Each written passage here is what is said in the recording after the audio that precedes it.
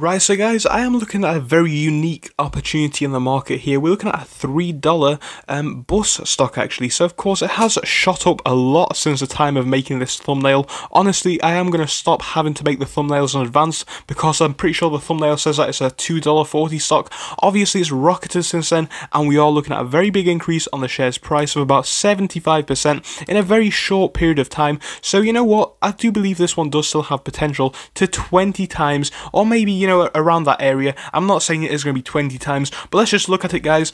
This is a electric bus stock. Most buses right now are diesel, and of course in the future all buses are going to be electric. It may be some time, but looking at this one right now, we are looking at a very unique opportunity in the market. So yeah guys, if it does sound like a good plan for an episode, please do leave a like and subscribe. You guys already know we are growing the channel as fast as possible, so it would be massively appreciated if you could join us by subscribing. And on top of that, if you want to come talk to us on Discord, you can. Link to our Discord is down in the description. But with all that being said, I am not a financial advisor, but we are going to jump straight in. Yeah guys, just on the first page we can see that on the one month charts this one is looking amazing. Been basically sat pretty still around the $1.70 mark for quite some time, up until I'd say about the 4th of January, where we really started to see this one pick up in traction, sitting at about $1.80, which wasn't a big increase to be fair, but it was an increase nonetheless. Obviously, from the 8th of January up until now, we're seeing a big increase of 66% in a very short period of time. Like I've already said, on the 5 day charts, we're looking very positive with a big increase of about 75%. Most of that is coming from the 11th onwards, and the move does look like it's actually gaining gaining traction as the days move on. So of course on the one day chart we are ever so slightly in the positive on this one with a 7% increase so it is actually bigger than it looks. Um, we were doing quite decent at markets open then we sold off a little bit down to $3 uh, about 19 then from there we started to build a bit more action putting us at 343 brought us back down to 2 sorry 324 though and then of course a little bit of an increase taking us up to 334 at markets end and that is where we are right now. So yeah guys just before we do you know dive dive a bit further into this one, we need to understand what we are dealing with this one.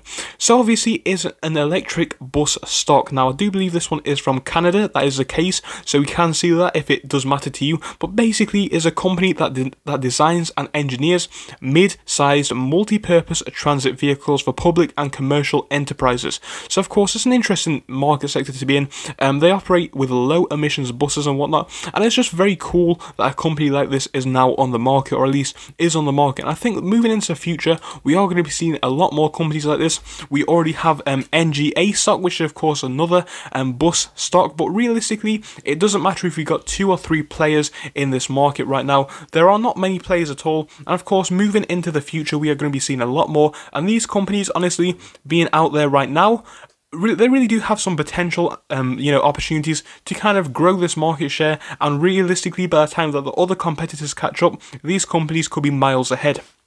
So yeah guys, honestly, with this stock, I really do see it as a good buy in my opinion, even at $3. But I do have to say, if I was going to be buying this one right now, I would do one of two things. I would A, wait for a dip. I'm not saying that it is going to happen, but with the way that it has been moving, you know, it has been exploding. And I can see this one, A, you know, growing a bit more tomorrow, but it's hard to say because on the other hand, I can really see this one strongly selling off a little bit tomorrow.